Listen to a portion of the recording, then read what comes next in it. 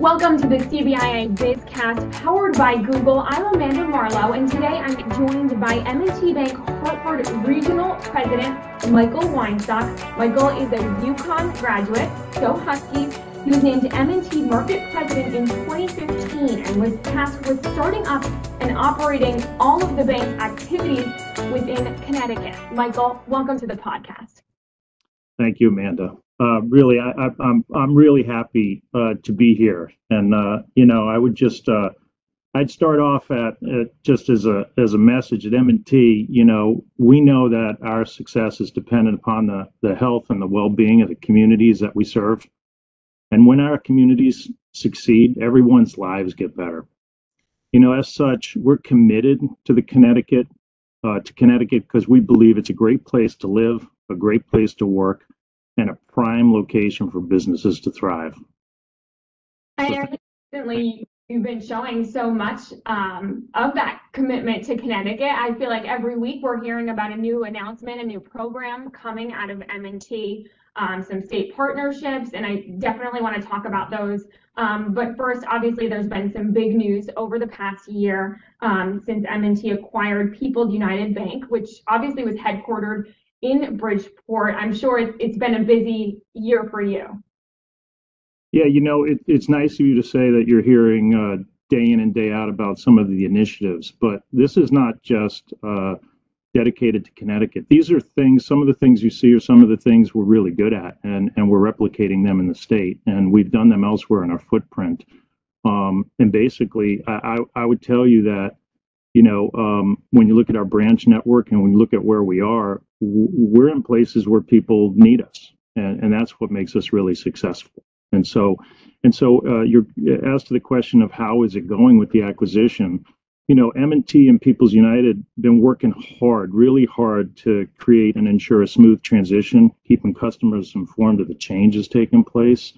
You know, as we near our computer systems uh, integration over the Labor Day weekend, and so we're really excited to welcome People's United customers to M&T Bank.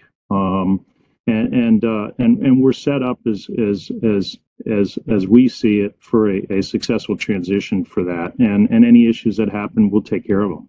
Um, you know, o- over over this period of time, um, in working with my new pub colleagues who are now M&T colleagues, of course, you know, uh, Frank Michalizzi, who runs the Bridgeport region, and I in Hartford have just had the pleasure of working with so many great people. And, and what we're interested in is, is preserving that good customer uh, will and, and all the work that everyone's done over the last 5, 10, 15, 20 years and more um, with the, the people's um, uh, clients, and and we want to welcome them as much as them welcome us, and, and do a good job for this community and for for our new clients. Um, you know, I've had the pleasure of working with Rick Iavani, who who runs our middle market group over in New Haven, um, and who's done a really nice job. He's really well known in that space. Um, up in Hartford, we've got Mike Schweihofer, who um, I mean when you meet him, uh, he was born like a mile from our Hartford office. He's went to public school schools in in in in Hartford. He went to college a mile and a half away. You know, he's not never one to stray from Hartford, so he's a fixture for us in that in that area, and and we look forward to continuing the great work he's done. We got Mark Evans running our real estate group up there um, uh, Dave Dixon, who's our wealth management uh, team leader uh, over there, who's running the state for us um, in the Wilmington Trust side. Um, we've got Jerome Bayer, um, who's running business banking and working through the branches. And was and later we're going to talk about the Connecticut Boost Fund, which is kind of fundamentally where Jerome and his team come in, as well as Stephen Santino, who who is running our branches in the northern part of Connecticut. So I, I, have I've my time with all of those individuals and their commitment to the community ha, has just been awe-inspiring for me. That's awesome, and you know a lot of people who are well versed in Connecticut and, and what's going on with the people for sure. I know there's a lot of work obviously being done in Bridgeport. Just this week, you announced um, a new pop-up spotlight shop. Can you tell me a little bit about that and how it's going to work? Yeah, it's really exciting because um, and, and, I'll talk about it a little, but it's a pop-up shop. It can go to where it needs to pop up. I mean, it's it's uh, it's mobile, and um, and and um, you know, we've done it in other areas of the bank, and it's it's a it's a, I, I mean, you know, it's a really uh, fundamentally sound way to present somebody to the community and and enhance their experience as well as everybody's experience with them. Um, and you know, it, it, represents our commitment not just to Bridgeport, but Connecticut and our support of uh, small businesses. Um, you know, Connecticut, 169 towns. We're made up of small businesses who support those communities, and and and uh, we understand um, that that building those businesses up is how our communities are going to thrive into the future and now. Um, especially as we come out of COVID, when a lot of them have been impacted to a way that that other companies have not. You know, the goal is to give small businesses a chance to have retail space and access to customers, foot traffic that they wouldn't otherwise have. Um, you know, we just uh, launched. The first one's going to be in Captain's Cove in Bridgeport. Um, but as I said, it's mobile, so it's in Captain's Cove. But you know, if we can gather some support in another area because there's a lot of foot traffic, we would consider those those things. And the first, I, I want to give a shout out to who who we see um, in this space and who, who we're dealing with first. So our first small business participant is Alicia's Bakeria. And they're going to be at Captain's Cove from August 10th to the 21st. Um, so, okay, it's www, uh, you know, uh, L-E-I-S-H-A-S-B-A-K-E-R-I-A dot com. Um, a shout out to them. It's a woman owned business in downtown Bridgeport. Um, they serve breakfast, sandwiches, wraps, and small batch bakery goods. And, and we're really proud to support their efforts in Bridgeport. And um, the second small business is uh, El Coquito, um, and they're going to be there from August 24th to September 4th. And uh, www.elcoquitoct.com. It's a family owned and operated business. It's located in Bridgeport. It's been serving the Bridgeport community for over 30 years and they specialize in Puerto Rican food. Um, you know, I would encourage everybody listening uh, to support this effort.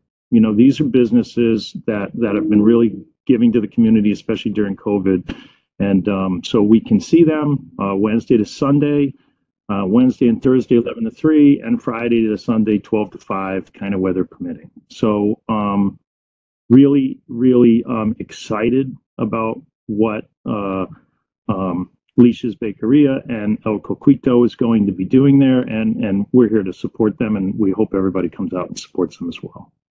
Yeah, that's awesome. Sounds like it'll be a great place to go grab, you know, some food for lunch or even on the weekends with the family to support a local business. Now, how did you guys um, choose these businesses? Was it, you know, you kind of looked at what was in the area, who M&T was already helping support?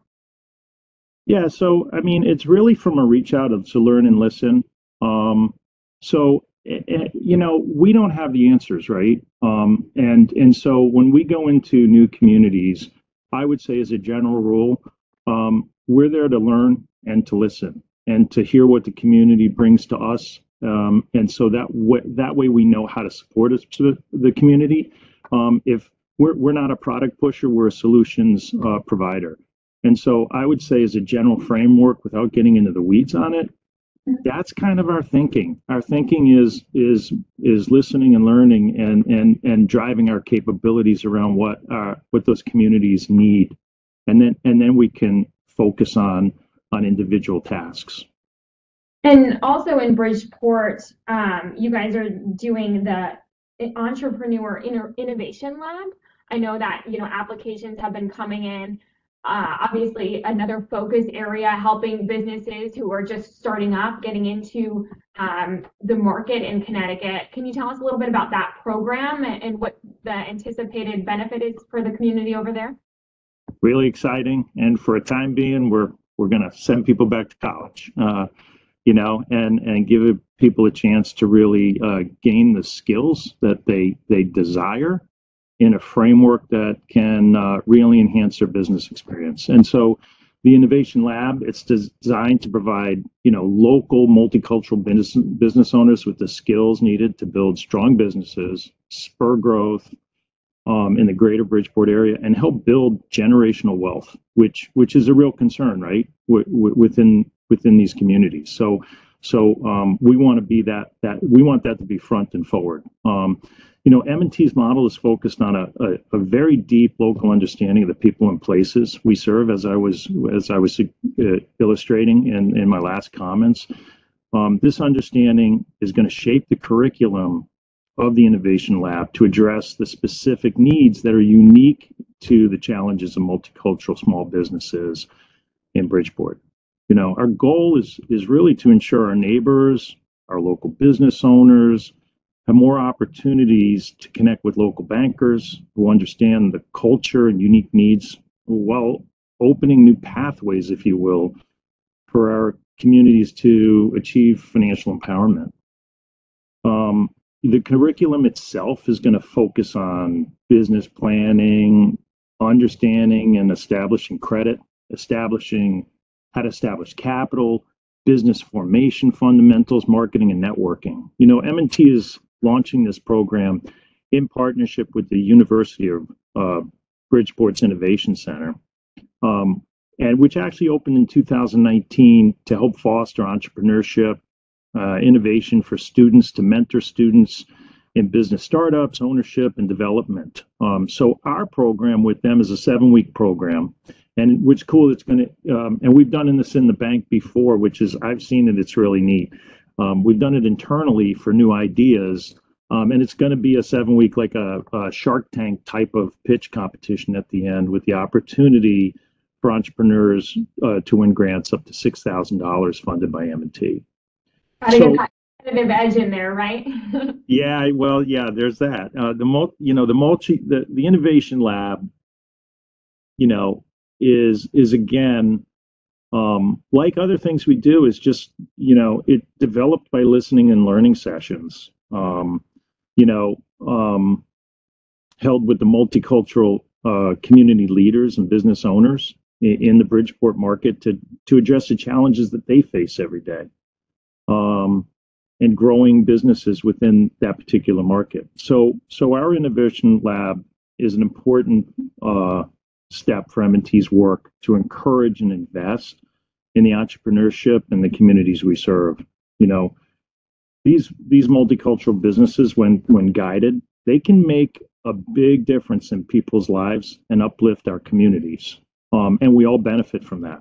Um, you know, um, ethically, um, and, you know, um, empirically, and and and also just from uh, bonding our communities.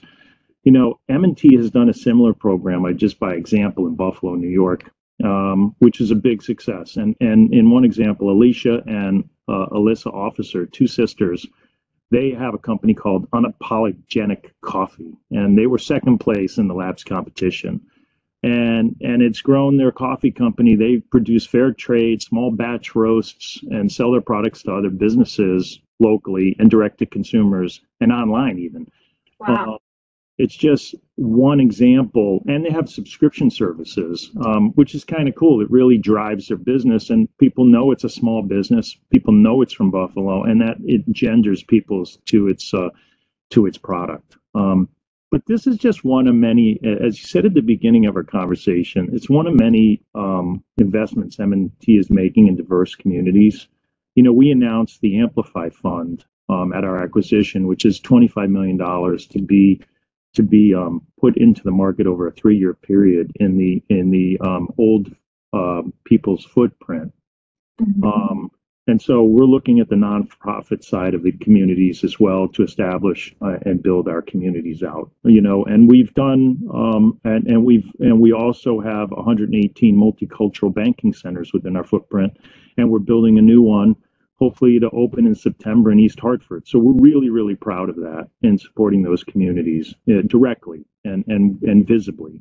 Um, and you know, we're we're we're committed to ex- eh, continuing and extending the partnerships we've had in the past um, through Pub. Um, and as I mentioned before, we're really um, we're supportive of all the work Peoples has done in the last 5 10 15 20 however many years and we don't we, we don't want to forget that and we haven't forgotten that and so so whether it's a vermont city marathon just to name it or the pan mass challenge or other things that are happening in connecticut we're going to continue to support those uh, those um, organizations um, and institutions. Well, I think it's so important, especially right now, you know, these small businesses. I think post pandemic, a lot of people in the community really want to help small businesses. And I think it's really encouraging to see the banks helping out and then, you know, get, getting them out on the streets up and running so that people can really go and, and support them. And hopefully we can see some of those um, businesses who are entrepreneurs right now later in those uh, pop-up spots. So that'll be that'll be really great. Um, obviously, another big announcement uh, that we don't really see too often. M&T was alongside the Connecticut Department of Economic and Com Community Development uh, just a couple of weeks ago when they announced the Small Business Boost Fund. And this is similar to a program that was uh, implemented many years ago in Connecticut, but this time it's a little bit different. It has the backing of businesses, um, banks like you guys. Can you tell me a little bit about your involvement in this program? One, I think it's it's uh, uh, we've we've been uh, involved in similar programs in other states. Um, at the direction of David Lehman, uh, Governor Lamont, Susan Bysiewicz. I mean, this, this is a unique and and and uh, and and a public-private partnership that really is is capable of driving business over a very long period of time and is successful, it's a rollover type of thing with the state's money continue to stay in. So this could this could this could be many years um, in, in in the working for what, what what we're doing here. So it's a very um, intelligent and smart program. You know, I, am going to say overall, you know, M&T, um, as I said before, we recognize that small businesses are the backbone of the local economies. Um, in and and especially in underserved and diverse communities, which is the, the the fundamentals behind the Connecticut Boost Fund. You know, that's why we're proud to be joining Connecticut Small Boost Fund um, to support these small businesses. That if you look at what it's doing, these small businesses, you know, um, they can lack the access to affordable and flexible credit, right? And that's what we're talking about.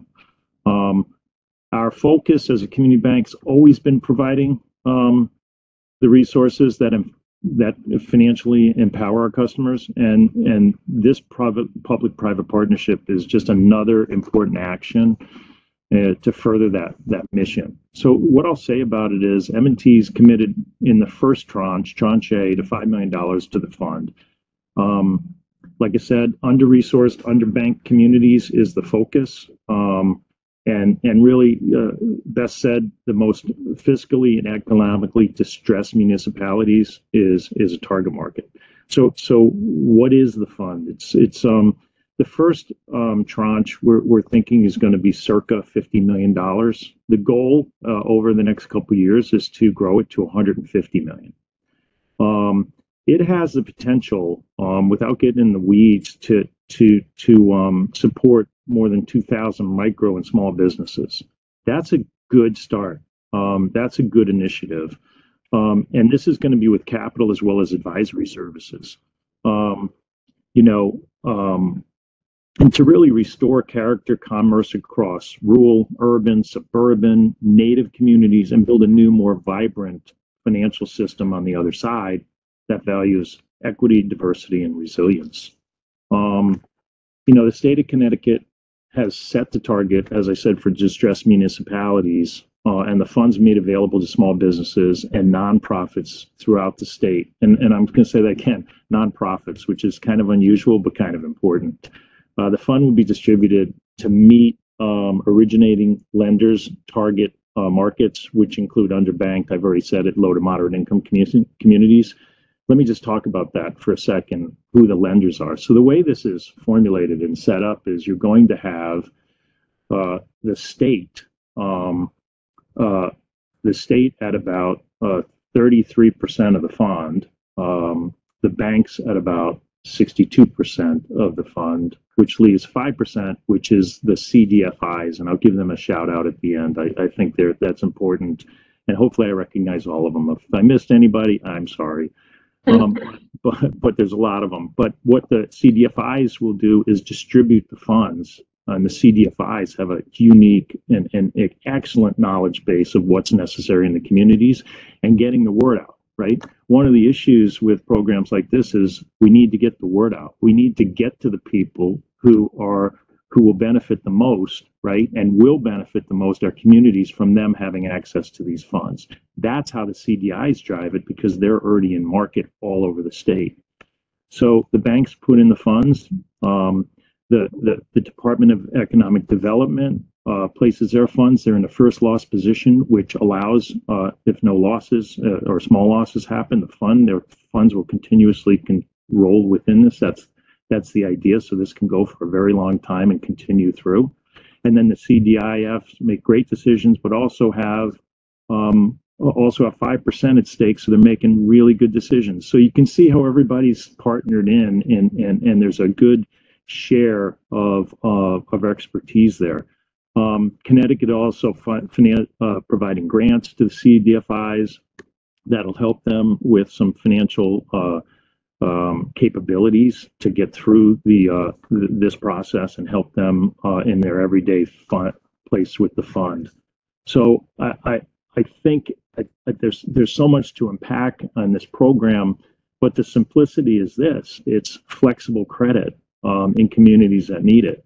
Um, and so just a shout out to the CDFIs because they're doing the hard and heavy lifting here, if you will. And so it's Ascendus, um, Capital for Change, Community Economic Development Fund, Pursuit Community Finance, Southeastern Connecticut Enterprise Region, NDC's Community Impact Loan Fund. Um, and these local and national organizations have many, many decades of explicit focus on historically under resourced communities. If I missed anybody, I apologize. and you know, obviously, there's some there's banks involved. There's uh, these companies as well it shows that they're committed to Connecticut and they're, you know, believe in Connecticut's future. And obviously, just talking to you, you can tell that you're passionate about the state and, and the state's future.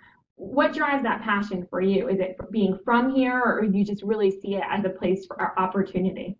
Yeah, no, I grew up in Fairfield County. My mom uh, uh, actually worked for the state. She ran the off-track betting office in Bridgeport. Um, so my family's from here. Um, we're, dedicated to here. You mentioned I'm a UConn uh, grad. Um, my my sister went to UHart, so there's there's a lot going on here, and and um, and and we see er, you know, and I've been in the financial community uh, for my whole life and dedicated a lot of that to uh, to Connecticut. You know, we opened our Norwalk, uh, you know, Norwalk office for M&T about seven years ago so we've been working with many of the CDFIs you heard, many of the non-for-profits, the state, and and others to drive these these things.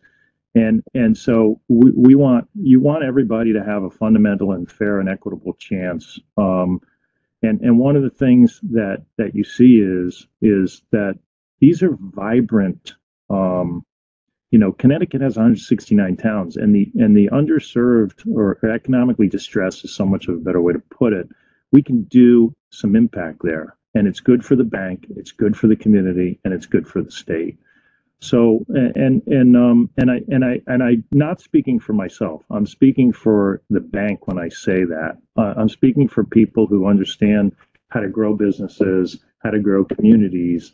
And if you look at M&T's fundamentals, you know they're pretty darn good. And in the areas we serve, um, we've we've made some major impacts, and those people have helped grow our bank. So it's a it, it's it's it's always a two way street, um, and we're really um, and at the end of the day, um, you know, any any place we can add the values of a large bank like us to those communities puts a smile on everybody's face and makes us proud here uh, at M&T Bank to be the bank that we are.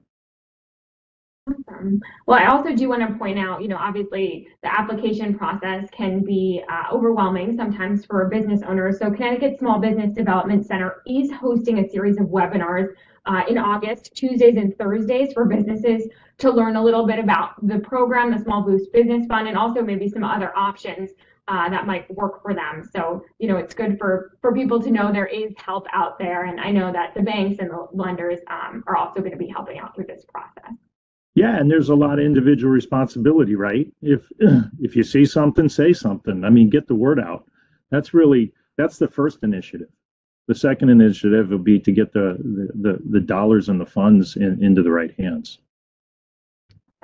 Well, Michael, thank you so much for coming on the podcast. We learned so much, and we're really looking forward to seeing, uh, you know, the impact that M&T and the other, you know, community partners have in the coming years. Well, from all of the family at M&T, um, um, thanks for having me. Thanks for having us. Um, it's been my pleasure. Thank you. Thanks. Right. Thank you for listening to this week's Bizcast. You can listen and subscribe to our podcast on Apple and YouTube. And for more episodes, you can head on over to CBIA.com.